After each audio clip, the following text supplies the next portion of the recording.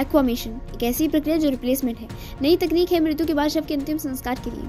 हाल ही में ये बहुत सुर्खियों में है, क्योंकि हाल ही में साउथ अफ्रीका के सम्माननीय Nobel prize winner Desmond Tutu का निधन हुआ। विश्व के नेताओं ने शोक जताया, क्योंकि इनके कार्य थे ही इतने सम्मान योग्य इनका अंतिम संस्कार एक्वामेशन से हुआ जो इन्हीं की इच्छा थी ताकि पर्यावरण की हानि कम से कम इस प्रक्रिया में बॉडी को एक मशीन में डाल दिया जाता है 95% वाटर और 5% स्ट्रॉन्ग एल्केलाइन यानी क्षार जैसे पोटाशियम हाइड्रोक्साइड डाले जाते हैं। 150 डिग्री सेल्सियस टेम्परेचर पर बॉडी के सारे पार्ट सोल्यूशन में घुल जाते हैं। बचता है हड्डियों की थोड़ी सी राख का सोल्यूशन यानी कैल्शियम और फॉस्फोरस इसे बनाने वाली कंपनी का दावा भी है कि 90 परसेंट एनर्जी बचती है। कोई ग्रीन हाउस गैस एमिट नहीं होती, वो एनवायरमेंट पोल्यूशन भी नहीं होता। बता दें कि डेस्मंड टूटू ने नेल्सन मंडेला के साथ रंग भेद विरोधी संघर्ष में भी पार्टिसिपेट किया था और इन्हें नोबेल समेत कई अवार्ड मिले इसमें गांधी पीस प्राइज भी 2007 में दिया गया था।